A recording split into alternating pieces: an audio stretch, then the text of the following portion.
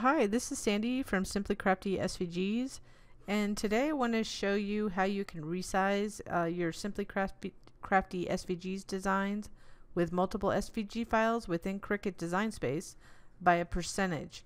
So this is specific to resizing designs that have multiple SVG files but these same steps can be used for any other single SVG file or Cricut image.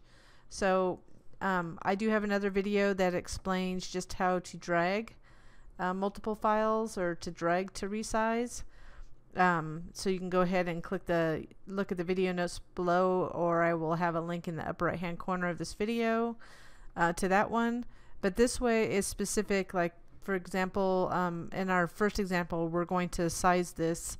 This is our the file that we're actually using is the medium stemless wine glass box design and we're going to size it up to 113%. And the reason we're doing this is um, that particular box has to be sized up a little bit to fit a popular insulated uh, wine, uh, stemless wine glass. So this is how you would do it in Cricut Design Space.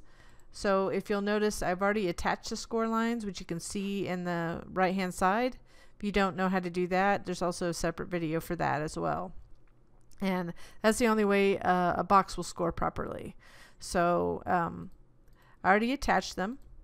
So to resize them, there's a couple steps when you're using percentages. So this one does require a calculator. Um, unfortunately, Cricut does not have an option to resize by percentage built into their software. Some other software, um, die cutting software does. So we first have to select them all. So you can highlight them all this like this and uh, we'll go ahead and highlight them all and then you'll go to the top here and note the width. You can use width or height. We're going to use the width. So it's 14.64. You can note that on a piece of paper.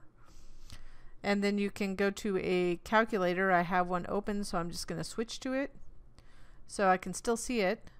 We're going to go 14.64 plus 113. 15%.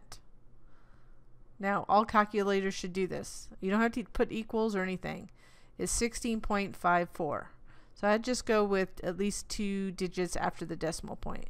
So 16.54, and you can write that down, or I could copy and paste, try to copy and paste it, but I'm going to type it manually. Before you change it, we're going to go back up to this width, and before you change it, make sure that that lock is closed. If it's not, if it's open like this, it's not going to size right. So close that up if it's open. And at 16.54, I have to go back. 16.54, you type in the width. I hit tab, and the whole thing changes, um, sized everything proportionally. So if you want to make sure, we can go and let's go move to front. And you can see these panels fit just fine and because I already know like how wide they're supposed to be when they expand, I know this this particular piece is uh, 8.36, but that's it. It does require a little bit of uh, calculation with the calculator, but it's not that difficult. And so example, I don't have the original file, the original size now, but I could highlight it now. And let's say I just wanted 50%. Now, easy 50% is usually half, so I could just go 10 if I really wanted to. So you could eyeball the number or you could use a calculator. But I'll just do 10 because I know that's 50%-ish of that. And now it's 50%. Um, what's fun about this is that you could take a box that was intended for a, a wine glass, a stemless wine glass, and make it a gift box now. So it's pretty simple. Um, I wish they incorporated it into the software, um, and hopefully it'll be a future edition.